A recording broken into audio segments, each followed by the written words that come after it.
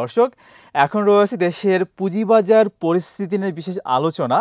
আর আলোচনার জন্য আমাদের সঙ্গে যুক্ত হচ্ছেন শেলটেক গ্রুপ ও শেলটেক ব্রোকারেজ লিমিটেডের পরিচালক মঈনুদ্দিন। জনাব মঈনুদ্দিন, আপনাকে স্বাগত একুশে বিজনেসে ধন্যবাদ জনাব মঈনুদ্দিন, আমরা শুনছিলাম যে শেয়ার বাজারের কি অবস্থা এই মুহূর্তে। আমরা দেখতে পাচ্ছি টপ ট্রেডের যে সেক্টর সেটি হচ্ছে সাধারণ বিমা খাত। আমরা দেখতে পাচ্ছি এখন জুন ক্লোজিং কোম্পানিগুলো কোম্পানিগুলো ডিভিডেন্ডের মৌসুম। কিন্তু সেখানে কিন্তু ডিসেম্বর ক্লোজিং এই ইন্স্যুরেন্স খাতে কিন্তু একটা প্রভাব দেখতে পাচ্ছি বাজারে। কীভাবে দেখছেন? সেই সাথে কিন্তু অনেক শেয়ার কিন্তু ফ্লোর প্রাইসে প্রায় আড়াইশো কোম্পানির শেয়ার কিন্তু ফ্লোর প্রাইসে তো সার্বিকভাবে আসলে কীভাবে আপনি বিবেচনা করছেন বর্তমান বাজারকে? ধন্যবাদ রনক। আপনি যে কথা বলছিলেন জুন ক্লোজিং তারপরে আপনার ফ্লোর প্রাইস অনেক কোম্পানি সামনে নির্বাচন। হ্যাঁ ফ্লোর প্রাইস আছে সামনে নির্বাচন রাজনৈতিক পরিস্থিতি সমস্ত কিছু মিলে আসলে আমরা একটা জটিল পরিস্থিতির মধ্যে দিয়ে যাচ্ছি। আর আপনি জানেন ওয়ার্ল্ড ইকোনমিতে একটু ক্রাইসিস আমাদের যাচ্ছে আমাদের রিজার্ভ নেমে গেছে অনেক নিচে। তারপর ওয়ার্ল্ডের ইকোনমিও নানান ধরনের সমস্যা আমরা ফেস করতেছি। একটা যুদ্ধ শেষ হতে না হতে ওটা তো শেষ হয়নি। তো আর একটা যুদ্ধ আমাদের অলরেডি চলছে, শুরু হয়েছে। তো এগুলা সবকিছু মিলে একটা প্রভাব আমাদের ইকোনমিতে আছে। কোম্পানিগুলো যাদের সাথে, যারা ইন্টারন্যাশনাল বিজনেসের সাথে অ্যাটাচমেন্ট আছে যাদের তারা আপনার ওখানেও একটা নেগেটিভ ইম্প্যাক্ট আছে। আর এনজি সেক্টরে আপনার অর্ডারগুলো কমে যাচ্ছে। হ্যাঁ তো আমাদের রেমিটেন্স ফ্লো কমে গেছে। যেহেতু এমনিতে একটা ক্রাইসিস আছে সারা পৃথিবীতে সেই কারণে যেটার একটা প্রভাব আপনার রেমিটেন্সও পড়েছে।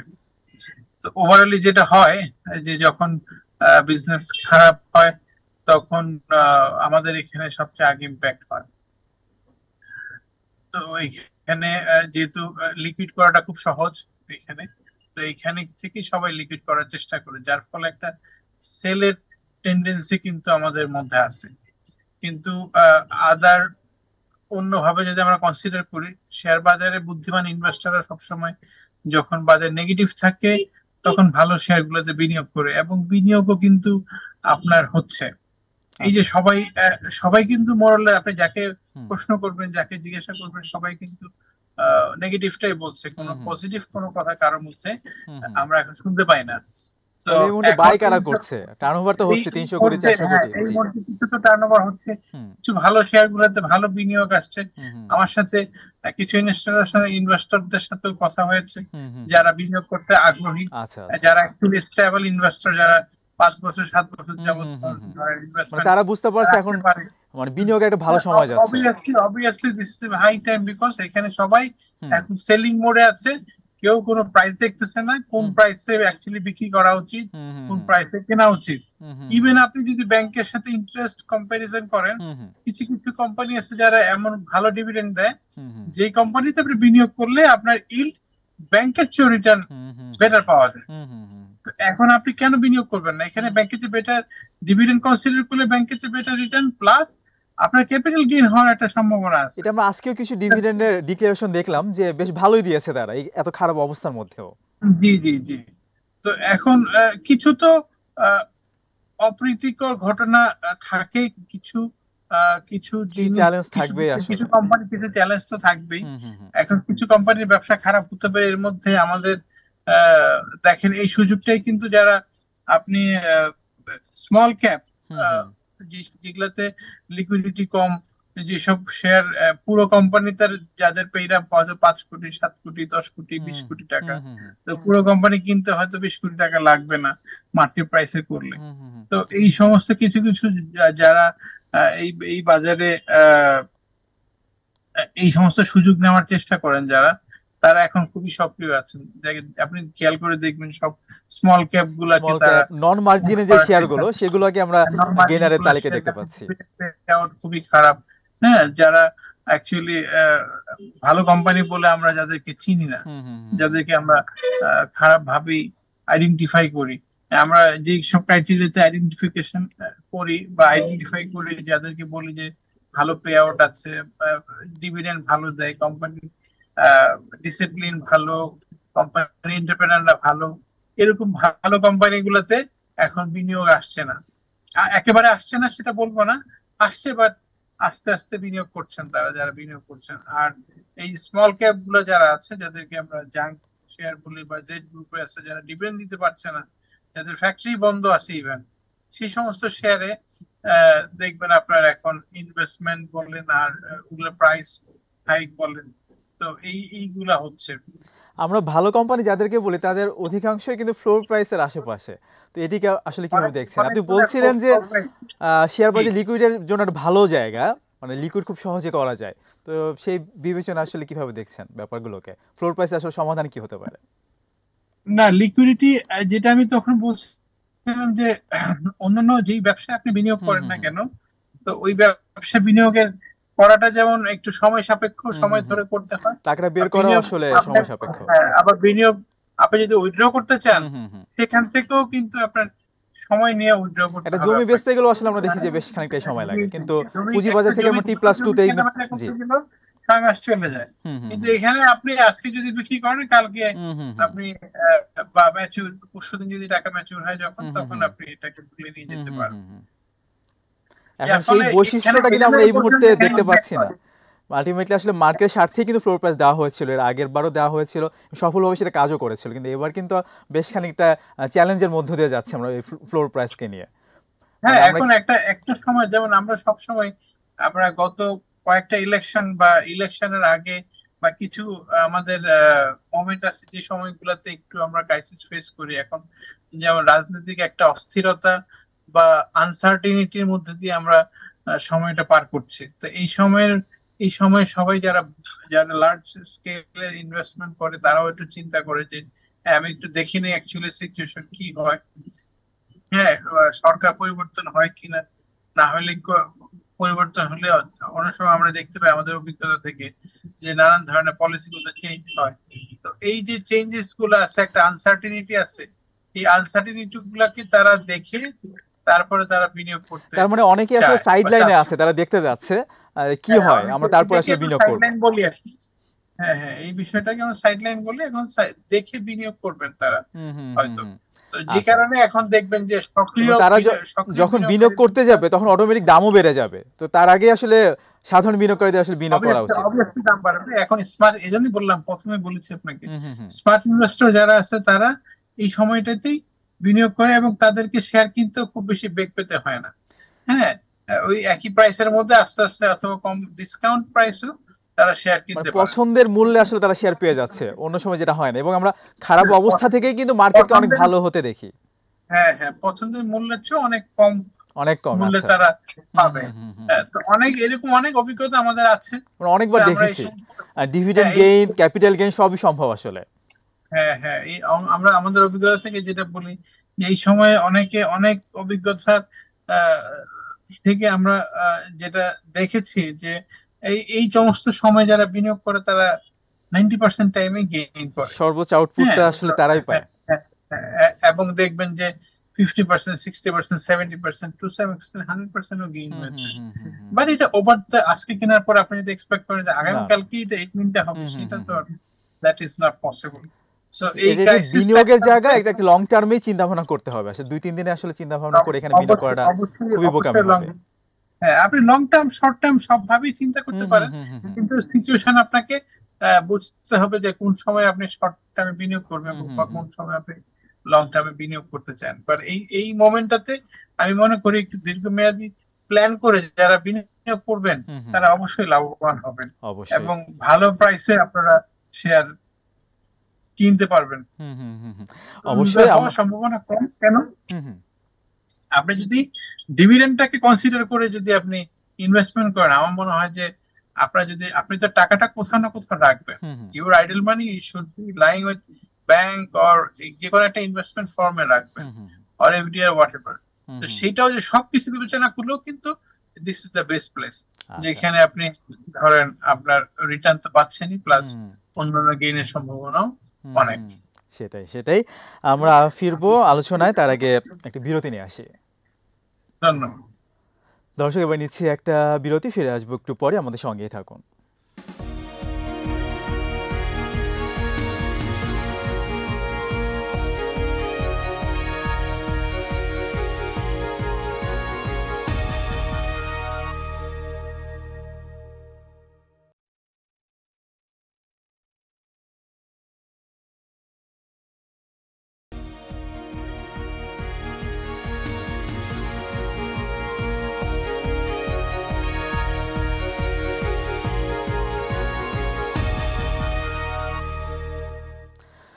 আবার আমতনিক বিজনেস সঙ্গে আছি। রহমান রহনা দর্শক, বিরতির আগে দেশের পুঁজিবাজার পরিস্থিতি নিয়ে কথা বলছিলাম।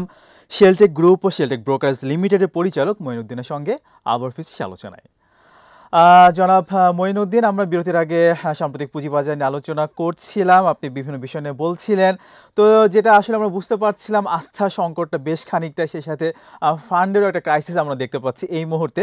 অনেকে সাইড লাইনে আছে, এটা আমরা বলছিলামই তো তারপর একটু জানতে চাইব যে এক্সপোজার ইস্যুতে কিন্তু অনেকের বিনিয়োগ সক্ষমতা বেড়েছে। অনেকের আগে থেকে বিনিয়োগ আছে, কিন্তু যাদের বিনিয়োগ সক্ষমতা বেড়েছে, বিনিয়োগের নতুন জায়গা তৈরি হয়েছে, তারা আসলে বিনিয়োগে আসছে না আসলে। প্রাতিষ্ঠানিক বিনিয়োগকারীদের কথাই আমি বলছি। তো সেক্ষেত্রে তাদের আগ্রহী করতে আসলে কি করা উচিত? অথবা এসিসি বাংলাদেশ ব্যাংক কি আসলে তাদেরকে একটু ইয়া করবে কিনা, তদারকি করবে কিনা এই বিষয়ে কীভাবে দেখছেন? আস্থা সংকট কীভাবে উত্তরণ করা যায়? ফান্ড ফ্লোরটাকে আরও কীভাবে বাড়ানো যায়? যেটা বলছে, বলছিলেন আপনি আস্থার সংকট বা এই যে নানান ধরনের ইস্যু বা পয়েন্টগুলো আপনি তুলে ধরছেন, বাংলাদেশ ব্যাংকের এখানে কোনো ইন্টারফারেন্স করার কোনো সুযোগ আছে কিনা বা আমাদের রেগুলেটর যারা আছে তারা কীভাবে কাজ করতে হবে আমরা যারা ইন্টারমিডিয়েট আছে, যারা তারা একসাথে কীভাবে কাজ করতে পারে? হ্যাঁ যদি আমরা একসাথে কাজ করতে পারি অফকোর্স এইটা একটা পজিটিভ ইম্প্যাক্ট নিয়ে আসবে। কিন্তু এই জিনিসটাকে someone has to lead Bangladesh ব্যাংকের যেটা কথা বলছিলেন, যেটা এক্সপোজার ইস্যুতে বাংলাদেশ ব্যাংক কোনোভাবে এখানে ইন্টারফেয়ার করতে পারে কিনা। হ্যাঁ অফকোর্স ইন্টারফেয়ার করতে পারে। কিন্তু আপনি তো পলিসি দিয়ে বাংলাদেশ ব্যাংক তো রেগুলেটর তারা তো আপনাকে বলে দিবেন আপনি কোথায় বিনিয়োগ করবেন, কীভাবে করবেন। হ্যাঁ আপনাকে পলিসি যেটা চেঞ্জ করে দিবে পলিসি পলিসি করে দিন সেই পলিসি অনুযায়ী আপনি স্পেস পাচ্ছেন কিনা, সেটা হলো বাংলাদেশ ব্যাংক করতে পারে। এবং সেটা তো তারা করেছেন। অনেক ব্যাংকের এরকম স্পেস আছে বিনিয়োগ করার, কিন্তু তারা বিনিয়োগ করছেন না। হ্যাঁ তো আমরা সবসময় নেগেটিভ কথাগুলো বলি যে শেয়ার বাজারে বিনিয়োগ করলে মানুষ ক্ষতিগ্রস্ত হচ্ছে, মানুষ এই হচ্ছে, এটা হচ্ছে, এখানে ডিসিপ্লিনে লটস অফ নেগেটিভ ওয়ার্ডস কিন্তু আদার ওয়ে আপনি যদি ভালোভাবে চিন্তা করেন যে আপনি বিনিয়োগ করবেন প্রফিটের আশায় অফকোর্স এখানে সবাই বিনিয়োগ করে তার প্রফিট এনশিওর করার জন্য। কিন্তু দেয়ার শুড বি সিস্টেম এখন আপনি ইনস্টিটিউশনাল ইনভেস্টর আছে, বিনিয়োগ করার পরে আপনি আগামীকাল কি আপনি রিটার্ন চাইবেন অথবা আপনার নেক্সট ফাইন্যান্সিয়াল ইয়ার ইয়ার শেষ হওয়ার আগে রিটার্ন চাইবেন? তো এইভাবে তো আসলে লার্জ ইনভেস্টমেন্ট এবং ওইভাবে বিনিয়োগ হয় না। আপনাকে দেখে বিনিয়োগ করতে হবে, করার পরে আপনি ওয়েট করবেন ডেফিনেটলি আপনি গেইন পাবেন। এরকম তো হিস্ট্রি খেলে আমরা অনেক ইনভেস্টমেন্টকে দেখেছি হ্যাঁ যারা three times four times five times return নিয়েছে। তো যারা এইসব বিষয়ে কথা বলছে, তাদেরও অনেক বিনিয়োগ ছিল, তারাও লাভবান হয়েছে। এখন সব সময় তো আর একরকম ভাবে ক্যাপিটাল মার্কেট চলে না বা কোনো কিছুই একরকম ভাবে সবসময় যায় না। এখানে আপস এন্ড ডাউন থাকে। আমাদের এখানে আপস এন্ড ডাউন আছে। তো এখন হয়তো একটু মন্দা ভাব আছে। তো এইটা তো আমি মনে করি যে this is the high time এবং গুড টাইম এখানে এখন ইনভেস্টমেন্ট করলে অ্যাটলিস্ট ভালো শেয়ার গুলোতে আপনি ভালো প্রাইসে ইনভেস্টমেন্ট করতে পারবেন, যেটার অপরচুনিটি যখন যখন আমাদের ইকোনমি আরও একটু চাঙ্কা ভাবের দিকে যাবে পজিটিভ ট্রেন্ডে যাবে, সবকিছু আরও একটু ঠিক ঠিক হয়ে চলে আসবে, তখন আপনি এই সুযোগটা পাবেন না। তখন এই এই প্রাইসও পাবেন না, এই কোয়ান্টিটিও আপনি কিনতে পারবেন না। তো এখন সব কিছু তো খারাপ না, অনেক ভালো দিকও আছে, অনেক ভালো কোম্পানি আছে, যেটা আমরাও জানি, যেটা আমরা সবাই জানি। আমি যে আমি, আপনি জানি সবাই জানি। তো ওই কোম্পানিগুলোতে বিনিয়োগ করলে আমার মনে হয় যে এখন অনেক ভালো কোম্পানি আছে যেগুলোতে বিনিয়োগ করার মতো সুযোগ আছে। যেখানে বিনিয়োগ করলে আপনি লাভবান হওয়ার সম্ভাবনা অনেক বেশি। হ্যাঁ বাট আপনাকে একটু ট্রিকি হইতে হবে। হ্যাঁ আপনি যদি ইনভেস্টমেন্ট করার সময় আপনি যদি খারাপ শেয়ারে ইনভেস্টমেন্ট করেন, তাহলে তো আর এইটা তো এই দোষটা বাংলাদেশ ব্যাংককেও দিয়ে লাভ নেই। এটা আমাদের রেগুলেটর সিকিউরিটিজ অ্যান্ড এক্সচেঞ্জ কমিশনকে দিয়েও লাভ নেই। সো তারা আপনাকে পলিসি করে দিবে, আপনি দেখে ভালো শেয়ারে বিনিয়োগ করবেন। তো যাতে আপনার লাভ হওয়ার সম্ভাবনা অধিকতর হয়। সেটাই। আমি একটু অন্য একটা ইস্যু নিয়ে কথা বলতে চাই। সেটা হচ্ছে ব্লক মার্কেটে দশ শতাংশ কমে আসলে বাইসেল করা যাচ্ছে। এটা আসলে ফ্লোর প্রাইসের স্বার্থে অথবা ভালোর জন্য করা হয়েছিল একটা গতি আসবে মার্কেট কিন্তু সেরকমটি কি মনে হচ্ছে কিনা? অনেকেই মনে করছে যে ফ্লোর প্রাইসের ব্লক মার্কেট টেন পার্সেন্ট কমে লেনদেনের কারণে কিন্তু ফ্লোর প্রাইসটা আরও দীর্ঘায়িত হচ্ছে। মানে কীভাবে দেখছেন এই ইস্যুটাকে দেখেন ফ্লোর প্রাইসটা যখন একটা ক্রিটিক্যাল মোমেন্ট ছিল, তখন যদি ফ্লোর প্রাইসটা দেওয়া না হতো তাহলে হয়তো আপনার আরও মার্কেট ফল হতো। এই প্রাইসের সংশোধনীটা সংশোধনীটা আরও আপনার অনেক বেশি। এবং আরও ফোর্সেল ক্রিয়েট হয়ে যেত অটোমেটিক সংশোধন আরও বেশি বেশি হতো। তো যার ফলে একটা একটা লেভেলে গিয়ে সংশোধন হয়ে ওখানে থেমে গেছে। মার্কেটে ফোর্স সেল বলেন হ্যাঁ বিনিয়োগকারীরা অ্যাটলিস্ট ওয়েট করতে পারছে। তো এই এই বিষয়গুলো মার্কেটকে একটা একটা লেভেল স্টেবল পজিশন দিয়েছে বাট অন আদার ওয়ে অনেক বিনিয়োগকারীরাই লিকুইড করতে চায় ধরেন প্রয়োজনে হোক আর অপ্রয়োজনে হোক। হ্যাঁ তো আমার প্রয়োজন কিন্তু আমি এখন লিকুইড বিক্রি করতে পারছি না। হ্যাঁ আমি কোনো বায়ার পাচ্ছি না। আমি যদি একটু কম দামেও পাই তাও বিক্রি করে দেব। এখন সেই কারণে commission Bangladesh security exchange commission যেটা করেছে সেটা হচ্ছে আপনার সেখানে টেন পার্সেন্ট ডিসকাউন্টে আপনি বিক্রি করতে পারবেন তো সেরকম একটা ব্যবস্থা করে দিয়েছে বা পলিসি করে দিয়েছে। যার ফলে অনেকে টেন পার্সেন্ট নিচে বিক্রি করতে পেরেছে বা ট্রেড হয়েছে তারপরে আবার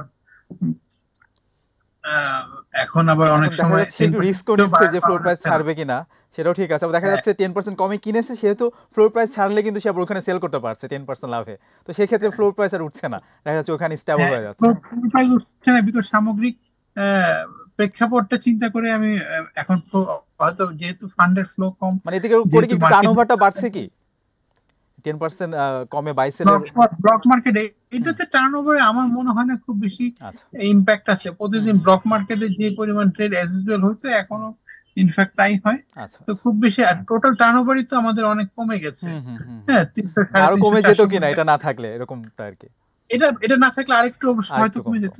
আচ্ছা এখান থেকে বিশ তিরিশ কোটি টাকা চল্লিশ কোটি টাকা হয়তো আরেকটু কম হ্যাঁ তো এখন মানুষ অনেকে যারা মনে করছেন যে এখন আমার কাছে কিছু বাই অফার আছে যারা ডিসকাউন্ট টেন পার্সেন্ট ডিসকাউন্টে কিনতে চায় কিন্তু আমি টেন পার্সেন্ট ডিসকাউন্টে আপনার শেয়ার পাচ্ছি না বা কেউ বিক্রি করতে আগ্রহী দেখাচ্ছেন মানে অনেকগুলো অফার আছে তো টেন পার্সেন্ট ডিসকাউন্টে এখন ওই যে বললাম আপনাকে স্মার্ট ইনভেস্টরটাই কিন্তু সবসময় এই সমস্ত সুযোগগুলো খুঁজে বা দেখার চেষ্টা করে। সেটাই। তারা দেখবে যে এখানে রিটার্নটা আসলে বেশি অন্য জায়গার তুলনায়। এবং সেখানে আসলে বিনিয়োগটা করবে আসলে। হ্যাঁ। অনেক শেয়ার আছে টেন পার্সেন্ট ডিসকাউন্টে তারা অফার দিয়ে রাখে। পেলে আপনাকে any quantity they want to buy আপনার ভালো ইনভেস্টর সব সময় আপনাকে এই এই সমস্ত সময় আপনাকে ইনভেস্টমেন্ট করবে অবশ্যই এটা আসলে ভালোভাবে কাজ করবে এটা আমরা প্রত্যাশা করছি। একটু জানতে চাইব যে এখন তো সুধার তো বাজার ভিত্তিক করা হয়েছে আবার রেপোর কারণে সুধার আরও বাড়বে। তো এটার প্রভাব বাজারে কেমন পড়তে পারে অথবা কেমন পড়ছে কীভাবে দেখছেন? দেখুন এখন লেন্ডিং এবং ডিপোজিট এবং লেন্ডিং দুইটার রেটই কিন্তু বাড়তেছে। আগে যেরকম একটা ক্যাপ ছিল ওই ক্যাপের মধ্যে আপনি লেন্ডিং করতে করতে বাধ্য ছিলেন আপনি। এখন ক্যাপটাকে উঠাই দিচ্ছে এটাকে আস্তে আস্তে বাড়াচ্ছে। সেই তুলনায় আবার ডিপোজিট রেটও বাড়তেছে। মানে আপনি এফডিএ যেটা ফিক্সড মেথডে আমরা ইনভেস্টমেন্ট করি সেটা রেটও বাড়ছে। আজকে ব্যাংকের সাথে কথা বললাম, ওদের they are offering around nine point five percent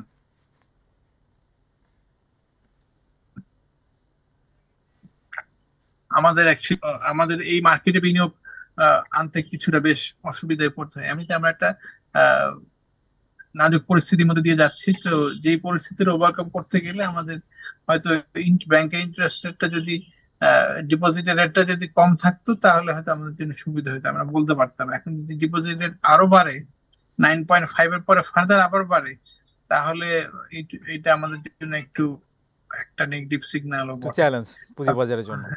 এটা ডেফিনেটলি ইটস চ্যালেঞ্জ তখন আমাদেরকে এটা অন্যভাবে রিকভার করতে হবে। এখন আমরা যারা রেগুলেটর আমাদের রেগুলেটর প্লাস আমরা যারা কাজ করছি তো সবাইকে মিলে এই এই এই সমস্যাগুলা মোকাবেলা করতে হবে। আমরা কীভাবে এটাকে এই এই বিষয়গুলোকে উত্তর মানে সমস্যাগুলোকে ওভারকাম করতে পারি প্লাস নতুন বিনিয়োগ কীভাবে নিয়ে আসতে পারি ফরেন ইনভেস্টরকে কীভাবে অ্যাট্রাক্ট করা যায় হ্যাঁ নানান ধরনের পলিসি চেঞ্জ করে হ্যাঁ কিছু আপনার সুযোগ সুবিধা দিয়ে ইনভেস্টরদেরকে তাহলে এই বিষয়গুলো নিয়ে আমরা আলাপ আলোচনা কম্বাইনলি যদি করা যায়, ওখানে নিশ্চয়ই একটা ভালো ফলপ্রসূ কোনো সমাধান যদি আসে তাহলে সেটা ক্যাপিটাল মার্কেটের জন্যই তো শেয়ার বাজারে আমরা কিছু গ্রুপকে দেখি তারা কিন্তু আসলে মার্কেটে তারা থাকতে চায় আসলে। ব্যাংকে ইনভেস্টের চাইতে আসলে মার্কেটে তারা বিনিয়োগ করতে পছন্দ করে। ইন্টারেস্ট রেট বাড়লেও আসলে তারা আসলে মার্কেটে থাকবে সেটা আমরা প্রত্যাশা করতেই পারি। একদম শেষ পর্যায়ে ছোট করে জানতে চাইব যে মানি মার্কেটেও আসলে একটু ক্রাইসিস আমরা দেখতেই পাচ্ছি। ডলারের ক্রাইসিস আমরা দেখতে পাচ্ছি পনেরোটি ব্যাংকের মূলধন ঘাটতি। সব কিছু মিলিয়ে আমাদের পুঁজিবাজারকে লিঙ্ক করে ভবিষ্যৎটাকে কীভাবে দেখছেন? ছোট করে। দেখুন, এই ক্রাইসিস সারা জীবন সবসময় থাকে। আমরা সবসময় ক্রাইসিস দেখেছি। তো ক্রাইসিসটাকে ক্রাইসিসটা সবসময় ক্রাইসিস ইজ টেম্পোরারি সো এটাকে আমরা সবাই মিলে যখন কাজ করি, এই ক্রাইসিসটা আমরা ওভারকাম করি, করতে পারি, এবং আগামী দিনেও করতে পারব ইনশাল্লাহ তো ক্রাইসিস সবসময় থাকবে।